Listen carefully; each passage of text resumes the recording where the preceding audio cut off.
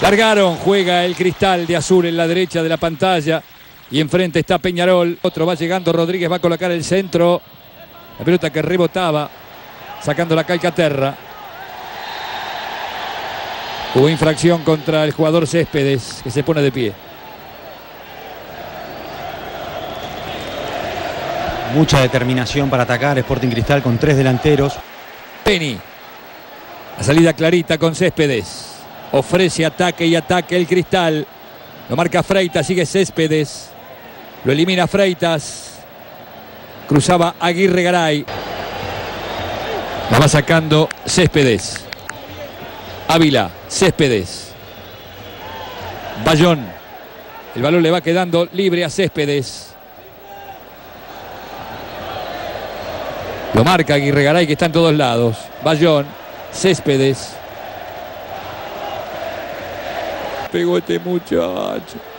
La saca colocando una pelota Céspedes. Aguanta y saca Olivera. Orlán para Murillo. Lo va a esperar a Diego. Engancha el colombiano. Pasó, hizo una de más. Ganó el colombiano. Pura potencia. Coloca un centro. Pif, pif. Hizo así. Céspedes. Después lo batón. Pase atrás para Céspedes. Falta de... Le pegó Calcaterra. Devolvía Valdés. Llega Céspedes. No puede pegarle. Lo marca Freitas. Lo tocó de milagro.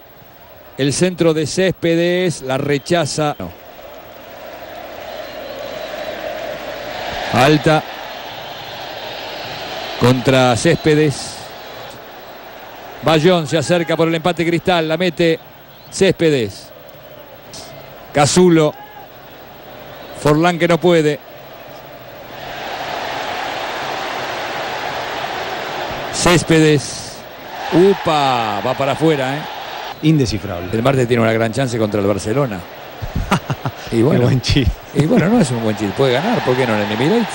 Falta contra Céspedes y amarilla para Nández, que tiene estos últimos 10 minutos un bajón notable. Sí, no, y ¿No estaba molestado Nández? Espera. Peñarol está resistiendo ya muy agotado y depende más, te diría, de los fallos de Cristal que tampoco se le ocurre mucho de tres cuartos de cancha hacia adelante. La cruz a Bayón, todo es del cristal. Con el partido 1 a 1. Hay lateral para el cristal.